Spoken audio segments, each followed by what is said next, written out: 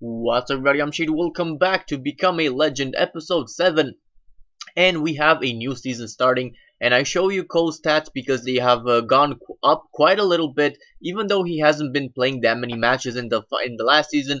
But uh, starting off this season we actually change a bit our change change our training up a bit and we actually start chasing a trait or what they what do they call it in PES it's traits in FIFA and abilities or something. I think special abilities in PES. So anyway, we do start off uh, training the long range drive uh, special ability, which Cole, of course, um, his dad, uh, Cole had ha as his first ability.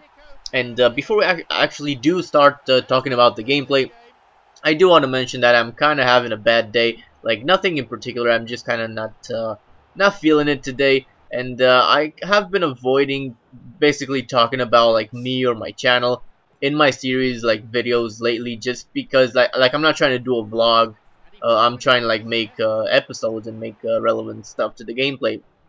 So uh, yeah that's that's about that. So I'm just gonna talk about the gameplay now.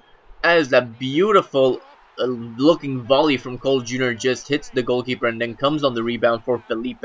But this is a training match. We do start off the season with a training match and it's against Motherwell. Of course, um, I think that when we were uh, playing last year with Cole, it in our in our second season, I'm not sure though, but in our second season, I'm pretty sure we already started skipping training matches just because we could afford to. You know what I mean? Because um, he we were just doing a lot better, and not just because like the series is a little different, especially because I'm really annoyed of the key delayed. But of course, of course, we started on professional this season this this uh, year. I'm I'm I'm sorry.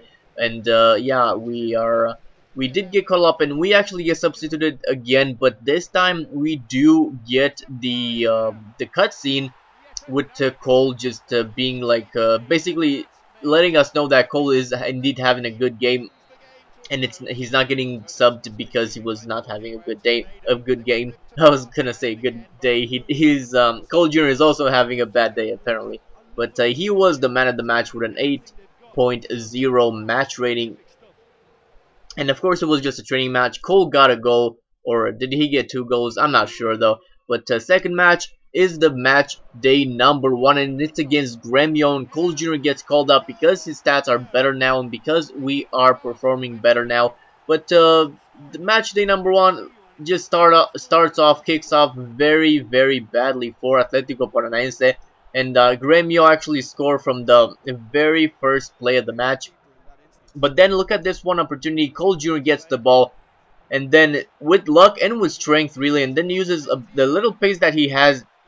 And then inside the box, he just chips it past the goalkeeper from that angle. You probably weren't expecting uh, that kind of finish, and uh, neither was I, to be honest. Uh, but um, and neither was the keeper. That's why he got through. But like just how much confidence can you have as a, as a kid that just really started getting called up regularly for the first time team? He only had what was it uh, seven appearances last season and um, in like official matches and three assists and two goals for a striker which is not really a good record at all. And just to have the balls to do that that was really good. But um, they get one back to to uh, to uh, get back in the lead 2-1 with Vargas getting a, a chip of his own. Coles, Coles was better though just saying.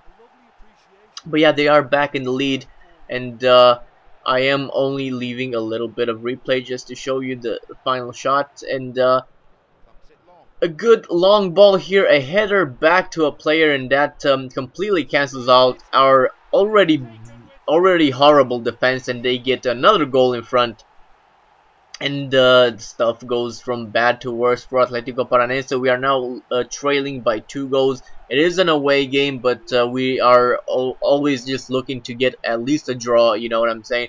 And especially from match day number one, you do not want to start it as a bad game. But look at this one, one-two with the with the teammate because they are also effective. And then inside the box, and then very unlucky to hit the post there with his uh, strong foot as well. Our finishing is is uh, up at 75 by the way. I'm really I'm kind of uh I don't know why they removed the boots to boost your uh, your uh, stats, but look at this one by Cole. Already dribbled past two players. Will dribble past the third player. We're gonna take a look, another look at that, but then he scores the absolute golazo, and, and that really reminded me of um, of his dad of Cole from last year because he would always score a nice goals like that, especially when the team was in need. But I did leave a little bit of the, of the first replay here just to see how we got past the third man because that looked a little odd to me. But then we see it clear here. He just tackled too soon because it looked like we like we were playing on amateur and I'm, I know there's always going to be that one guy who's like oh you're playing on amateur because they can't even spell it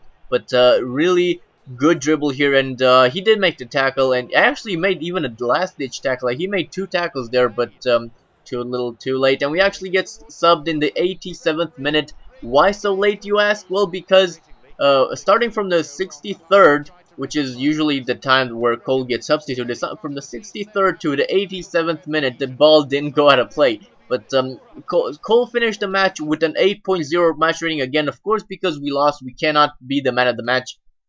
Uh, However, it was just a good performance from Cole. And now the third match is against the Portuguesa. Look at Cole just breaking through here. And then he just positions himself and takes the shot and scores another goal. So we are now getting called up every match. And by the way, look at that, that sexy white kits. I really like the white kit for Atletico Paranaense. Kind of looks like uh, the the Real Madrid kit in that like the good good old days when it was just like plain white and like shiny white. Just looks really good. I know. But uh, look at that through ball by Cole. And the teammate here is inside the box. And he actually puts it away. I was um, I was kind of doubting that he will just because he kind of stalled a little bit. And as you know, defenders in PES really catch up to you quickly. Like you think pace has been nullified in FIFA, you don't have no idea about PES. But look at this tackle by Cole. I just thought it was funny the way the teammate reacted from that tackle. Uh, that is the equivalent of a bitch slap in football because he made him look like a little bitch. Anyway, they get one goal back here with Diogo. And uh, really good ball, really good long ball. But then the finish, uh, another chip, like another scoop by, uh, over the goalkeeper. And that uh, got him one goal back, so 2-1. But that is what it finishes, even though Cole got substituted again in the 63rd minute. Uh, hopefully that will stop soon because we just need more playtime. It was nice last match that we got um, to play 87, 87 minutes. But Cole, another 8.0 rate match rating and another man of the match for Cole. But uh, that's been this episode of Become Legend. I hope you guys enjoy. Uh, if you want to make my day a little better, you can leave it a like. But uh, otherwise, I've been Shade again. Thank you for watching. Goodbye.